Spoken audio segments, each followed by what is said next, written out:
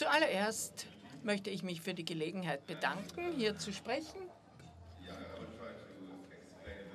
Ich werde versuchen zu erklären, wie das alles begonnen hat und wie es sich auf mich ausgewirkt hat, um Ihnen eine Vorstellung zu vermitteln, wie es ist, wenn man der Künstler ist, der ausgewählt wurde für diese Kollision zwischen Kunst und Wissenschaft.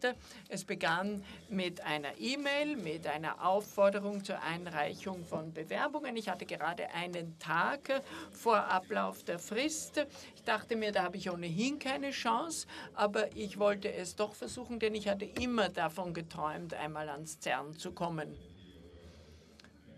Und daher habe ich in einem fünfminütigen Video erklärt, warum ich so gerne dorthin möchte. Und dann wurde tatsächlich ich ausgewählt. Das war für mich eine große Überraschung. Und dann habe ich angefangen, mich zu fragen, was erwarte ich eigentlich äh, davon?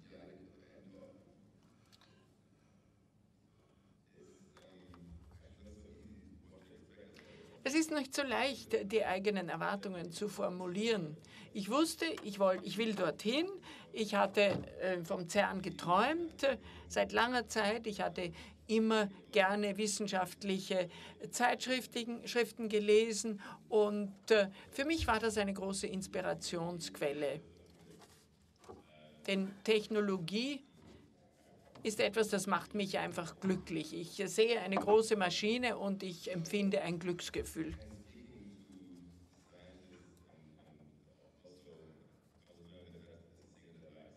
Und äh, auch im Gespräch mit Wissenschaftlern bin ich drauf gekommen, dass das etwas ist, das mir sehr viel gibt.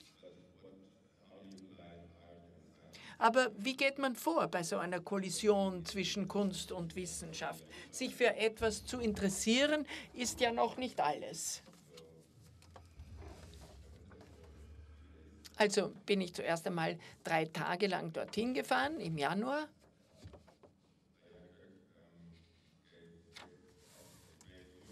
Ariane Köck hat uns äh, herumgeführt in der Einrichtung. Es waren wirklich drei ganz erstaunliche Tage. Ich habe diese riesigen Maschinen gesehen, äh, unterirdisch und Labors, äh, oberirdisch.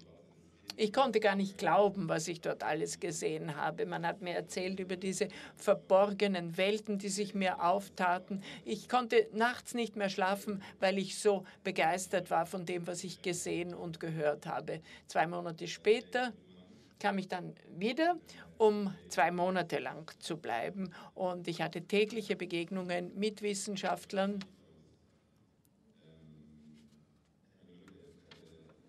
einmal oder zweimal in der Woche hatte ich die Gelegenheit, mir Experimente anzusehen. Es gibt ja nicht nur dieses riesige Experiment, das unterirdisch stattfindet, sondern auch über der Erde finden ständig kleinere Experimente statt.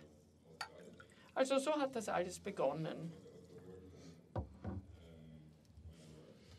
Dann habe ich äh, an meinen eigenen Arbeiten weitergearbeitet. Aber die meiste Zeit habe ich damit verbracht, mit Wissenschaftlern zu sprechen und über das Gehörte nachzudenken. Ich hatte das Gefühl, es sei nicht richtig, an einem eigenen Projekt zu arbeiten, denn ich brauchte wirklich die gesamte Zeit, um das zu absorbieren, was ich dort hörte. Das nahm meine gesamte Zeit in Anspruch. Das Diskutieren und das Nachdenken.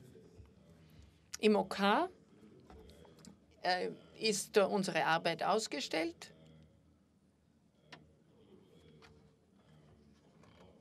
Das ist die Arbeit, die ich ähm, eingereicht habe, die, ich, äh, die jetzt hier hängt. Das ist ein Beispiel dafür, wie ich an Kunst herangehe. Das ist nicht wissenschaftlich, das Und es ist auch nicht Wissenschaft und Kunst gleichzeitig. Ich bin Künstler, aber mich interessiert die Wissenschaft.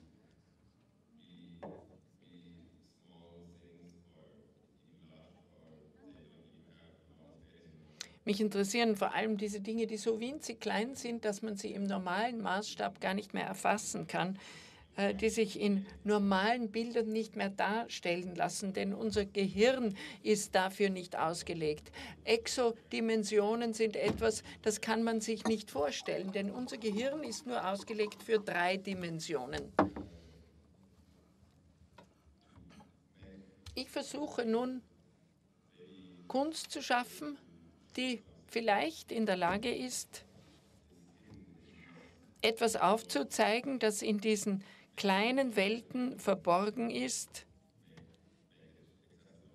Und vielleicht äh, kann ich das durch Skulpturen zugänglich machen, was mit Worten nicht möglich ist. Im Wesentlichen gibt es da zwei Arbeiten, die ich zeigen möchte. Die Arbeit, die im OK installiert ist. Aber zuerst zeige ich Ihnen noch etwas anderes, das noch nicht fertig ist. Das sind beides Arbeiten, die noch nicht umgesetzt sind. Vielleicht lassen sie sich auch gar nicht umsetzen. Die Künstler unter Ihnen wissen sicher, dass ähm, vieles von dem, was man sich ausdenkt, entweder zu teuer ist oder illegal oder aus irgendeinem anderen Grund nicht möglich, weil es für andere oder für einen selbst schädlich sein könnte. Oder weil das einfach so viel Energie aufbrauchen würde, dass es nicht durchführbar ist.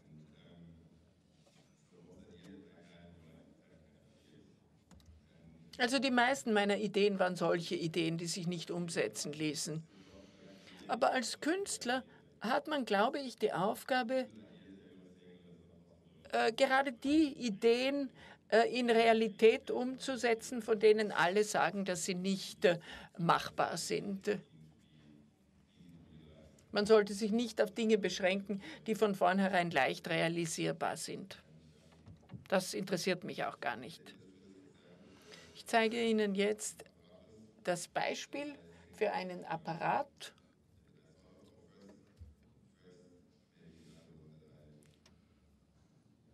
aber vielleicht zuerst einen anderen.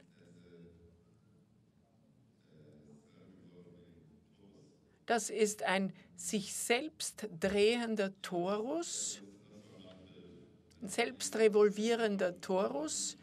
Das war gar nicht so äh, schwer herzustellen. Das ist nur ein Modell für einen solchen Apparat, der aber im Raum schweben soll.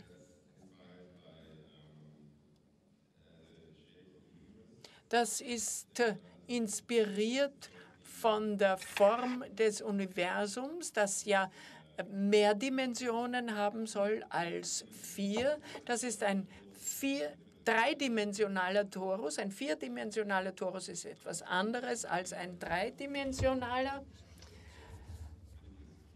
Äh, das ist einfach ein Versuch zu zeigen, wie ein dreidimensionaler Torus versucht, ein vierdimensionaler Torus zu sein.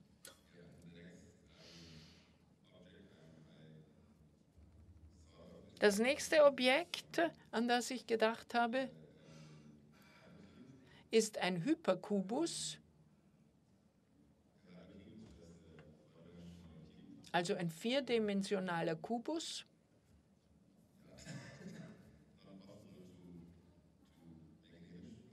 Ein Bild davon kann man nicht herstellen, denn das ist vierdimensional. Aber man kann eine vierdimensionale Projektion äh, von einem dreidimensionalen Objekt machen. Auf Papier lässt sich das nicht machen. Papier ist ja nur zweidimensional.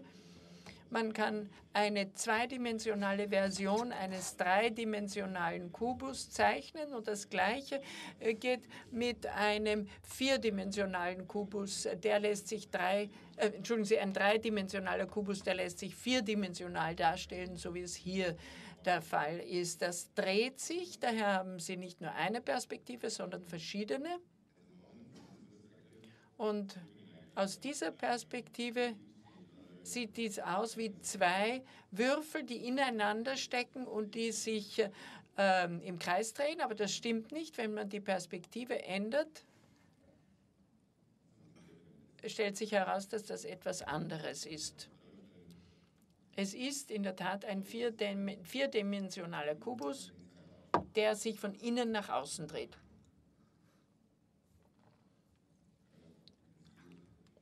Ich weiß nicht, ob Sie das erkennen können.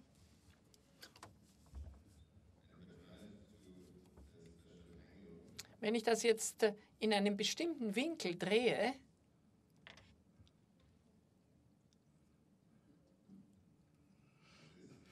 so zum Beispiel, dann sieht es wieder anders aus. Das ist nur eine Änderung der Perspektive.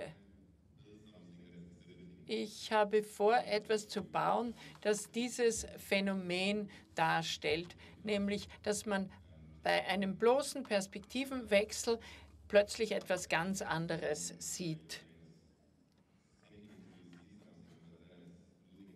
Äh, so wie der Augenblick, in dem das Gehirn glaubt, etwas zu sehen, aber dann verliert man es schon wieder. So geht es mir immer, wenn ich versuche, mir etwas Mehrdimensionales vorzustellen. Eine Sekunde lang gelingt es mir, aber dann ist das Bild wieder weg. Und es geht mir um diesen Augenblick, wo man am Rande zu dem steht, was man sich vorstellt. Diese Inspiration hatte ich, als ich versuchte zu verstehen, eine, eine physikalische Phänomene zu verstehen, die jenseits der Newtonschen Welt sich befinden.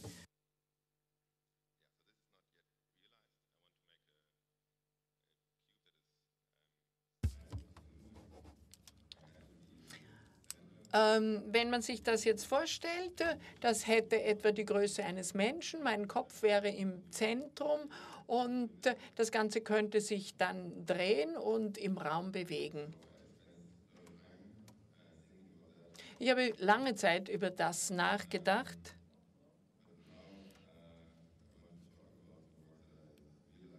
Aber jetzt möchte ich über die Arbeit sprechen, die ich schon ausgeführt habe.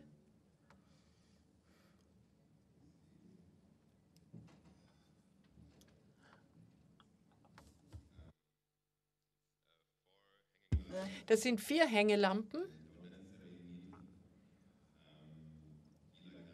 die nicht unbedingt so aussehen müssen. Es könnte jede Art von hängender Lampe sein. Im OK gab es keine hängenden Lampen, daher habe ich diese verwendet, weil sie mir gut gefallen. Aber es geht nicht um die Lampen, sondern um die Bewegung.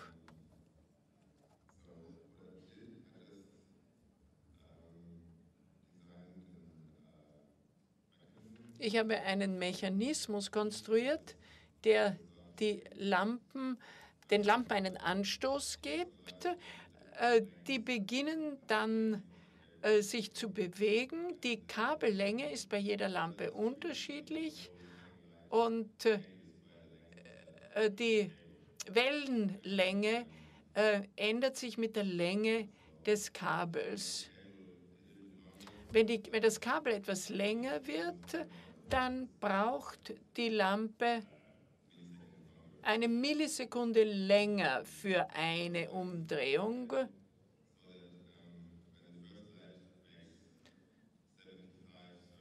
Wenn die erste Lampe 75 Umdrehungen vollführt, sind es bei der zweiten 76, bei der dritten 77 und bei der vierten 78 Umdrehungen. Also äh, nach jedem Zyklus von 78 ist die Harmonie wiederhergestellt, denn sie haben dann alle äh, die vollständige Anzahl von Kreisen vollführt. Dann schwingen sie alle wieder gemeinsam in diesem Augenblick. Aber äh, meiste, die meiste Zeit sind sie nicht synchron, denn nach 20 Zyklen etwa beginnt das Chaos. Nicht echtes Chaos, aber es scheint Chaos zu sein, denn man kann diese vier verschiedenen Frequenzen nicht berechnen. es sieht aus, als sei das alles im Chaos. Und genau das ist der Augenblick, an dem man versucht, die Bewegung zu verstehen. Man glaubt, man versteht sie hier. Glauben Sie vielleicht, die hängen alle zusammen, ähm, sind durch einen elastischen Faden oder eine elastische Schnur verbunden. Das ist über, überhaupt nicht so. Das ist nur die Länge der Kabel, an denen sie hängen, die den Anschein erweckt, als seien sie miteinander verbunden. Wenn ein Kabel ähm, zum Beispiel ein wenig länger wäre, dann würde das immer chaotisch wirken. Für mich geht es um diesen Augenblick äh, zwischen sehen, verstehen und wieder verlieren und nicht mehr verstehen. Äh, das, dafür ist, glaube ich, ein Teil im Auge verantwortlich. Das ist nicht etwas, das im Bewusstsein passiert, Das sind die Augen, die die beiden Dinge miteinander verbinden. Ähm, je nachdem, wie die Bewegung verläuft. Und das passiert ständig mit diesen Lampen, kontinuierlich. Sie scheinen verbunden und sind nicht verbunden.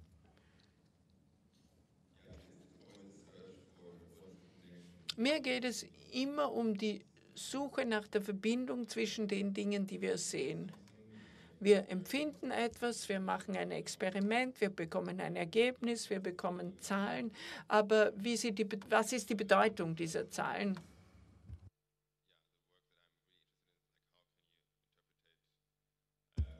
Und was mich wirklich interessiert, ist die Frage, wie kann man das interpretieren, was man sieht und was ist verborgen hinter dem, was man sieht.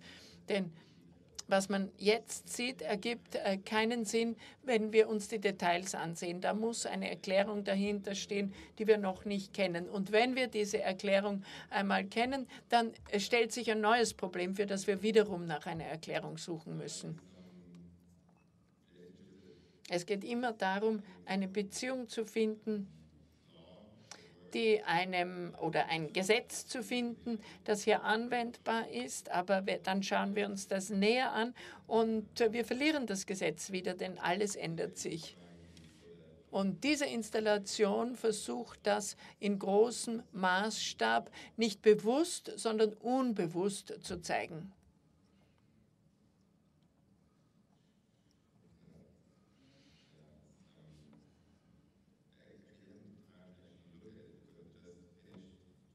Ich hatte gar nicht Zeit, mir das äh, länger anzusehen, denn ich war erst gerade, bin erst gerade vor zwei Tagen damit fertig geworden. Ich habe ein ganzes Monat lang äh, mit einem Freund daran gearbeitet. Ja, das reicht vielleicht. Genug der Erklärungen.